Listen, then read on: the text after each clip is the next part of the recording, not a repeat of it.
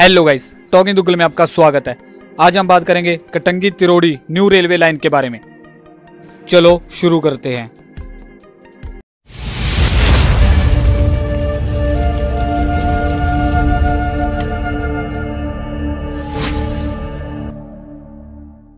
ये railway project Katangi से तिरोड़ी तक है, जो वाया पुनिया बनाया जा रहा है। और इस ट्रैक की लंबाई कटंगी से तिरोड़ी तक की 15.9 किलोमीटर की है। मैं आप लोगों को इस रेलवे लाइन का बजट भी बता देता हूँ। इस रेलवे लाइन को बनाने के लिए एक सौ छियासी करोड़ रुपए का खर्चा आया है। इस रेलवे लाइन का काम अंडर कंस्ट्रक्शन है। बहुत ही तेज़ी से चल रहा है। काम बहुत ही जल्द कंप्लीट हो जाएगा इस रेलवे लाइन का काम।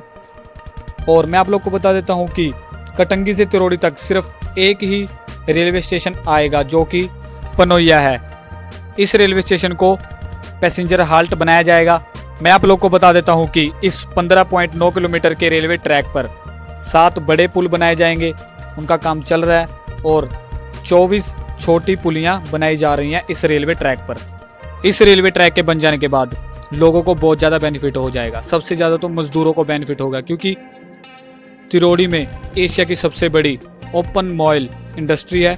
यहाँ पर बहुत ज़्यादा मजदूर काम करते हैं। इस रेलवे लाइन के बन जाने के बाद उनको आने जाने में बहुत ज़्यादा आसानी हो जाएगी और इंडियन रेलवे को भी बहुत ज़्यादा बेनिफिट हो जाएगा इस रेलवे ट्रैक के बन जाने के बाद। मैं आप लोग को बता देता हूँ कि इस रेलवे रूट पर सबसे बड़ा प्लेटफार्म तिरोड़ी में बनाया जा रहा है।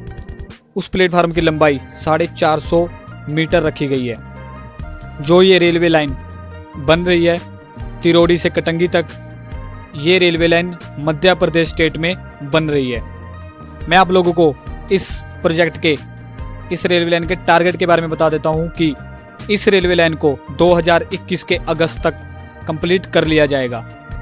इस सिंगल ब्रॉडगेज रेलवे लाइन को साथ में इलेक्ट्रीफाइड भी किया जाएगा। मैं आप लोग को बता देता हूँ कि कटंगी से बालाघाट जंक्शन तक सिंगल इलेक्ट्रिक लाइन का काम चल रहा है। बहुत ही तेज़ी से उसका काम भी चल रहा है। उसकी वीडियो भी जल्द लेके आऊँगा। और तिरोड़ी से तुमसर रोड जंक्शन तक भी सिंगल इलेक्ट्रिक लाइन का काम अंडर कंस्ट्रक्शन है। बहुत ही तेज़ी से चल रहा है। बहुत ही जल्द कंप्लीट हो जाएँगे ये दोनों ही ट्रैक सो so, ये थी कुछ information Katangi Tirodi new railway line के बारे में। वीडियो कैसी लगी? लाइक और कमेंट करके ज़रूर बता देना। और हाँ आप लोगों का फेवरेट चैनल टॉकिंग दुग्गल इसे ज़रूर सब्सक्राइब करें। Thank you